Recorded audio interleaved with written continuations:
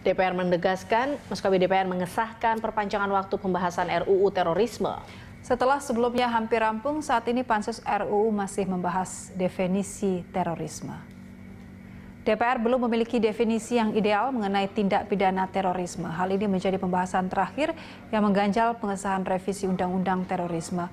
Pansus telah meminta masukan dari berbagai pihak seperti TNI, Polri, akademisi, serta masyarakat sipil untuk membahas mengenai definisi yang tepat.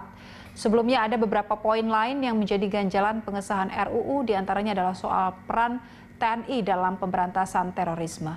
Namun akhirnya DPR sepakat terkait mekanisme keterlibatan TNI dalam pemberantasan terorisme akan diatur lebih rinci dalam Pilpres.